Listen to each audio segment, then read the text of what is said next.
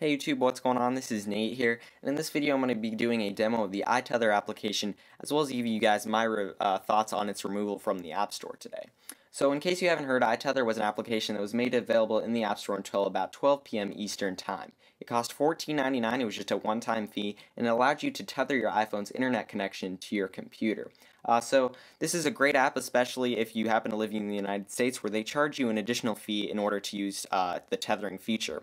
Additionally, if you happen to have an unlimited data plan and you're on AT&T's network, they would make you go down to a cap data plan, as well as pay more money to have the tethering feature. So if you fell into that scenario like me, this was definitely a great app for you. So uh, what I found interesting was that Apple decided to approve this app to begin with. In the past, apps have tried to sneak in tethering features that were removed shortly after they became live on the uh, App Store. So I was kind of confused why Apple even decided to approve this to begin with, but according to Tether's blog post on their website here, they say that we were very clear when we were listing the app, so Apple knew that this was a tethering app, they knew that was its primary function, and uh, Apple had followed up with uh, follow-up questions and even requested a video uh, uh, that showed a demo of how the application worked. Uh, but nonetheless, they decided to approve it. But then at 12 p.m. Eastern Time today, they decided to remove it and they said that it, it was for the reason that it burdened carriers' networks. Uh, so Apple, or the company was very disappointed in Apple's decision and felt that uh, this was not a valid reason for removing it from the App Store uh, because apps like Netflix, or you could even say their built-in YouTube application, uh, would definitely burden uh, carriers' networks.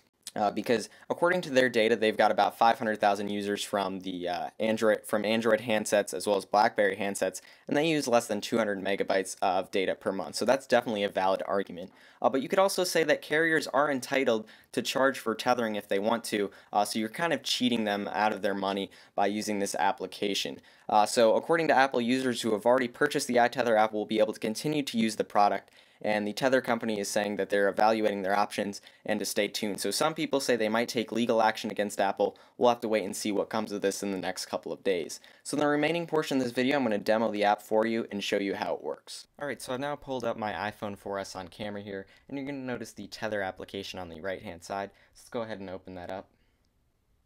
And in here, there's nothing to set up. Everything's already been done for you, which is really nice. So it's a very simple layout, just providing you with some basic information about your tethering usage. Now, in order to tether your iPhone to your computer, you're going to have to download a desktop client that is available for both Windows and Mac from the tether.com website.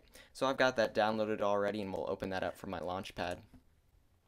And in here it provides you with some of the basic, same basic information that you receive on your iPhone screen. Now once the client is open and your phone is connected, it'll bring you to this start page here, and you know you're connected when you see the green check mark. So back into the client it itself, it has identified my smart smartphone as being an iPhone, the connection type is through USB, and it'll let you know how many packets you have sent and received, as well as how much data you have sent and received. So I've uh, done some speed test uh, with the speedtest.net uh, website uh, by tethering my iPhone, and I've noticed that the data speeds have been about the same uh, that I would have received with the iPhone 4S, which is good to see.